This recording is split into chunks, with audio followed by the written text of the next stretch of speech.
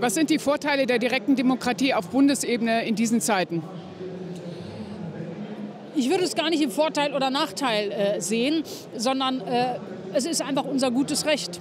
Wir sind eine wohlgesetzte parlamentarische Demokratie, die ja auch in ihrer Struktur eine Antwort war auf die Zeit des Nationalsozialismus, auf die Weimarer Republik und alles, was da betrieben wurde. Und ich finde, dass man äh, heutzutage eben sagen kann, es wäre eine wunderbare Ergänzung, auch wo politische Zusammenhänge immer komplizierter und globaler wären, wäre es doch gut, äh, eben auch zu sagen, Teile werden eben anders entschieden.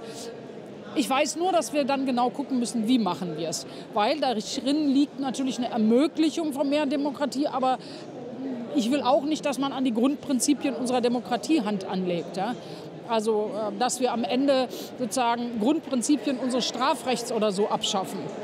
Äh, deshalb muss man sich genau angucken und so würde man es wahrscheinlich auch besser durchsetzen können, wie man dann direkte Demokratie für welche Bereiche in einer ersten Stufe umsetzt.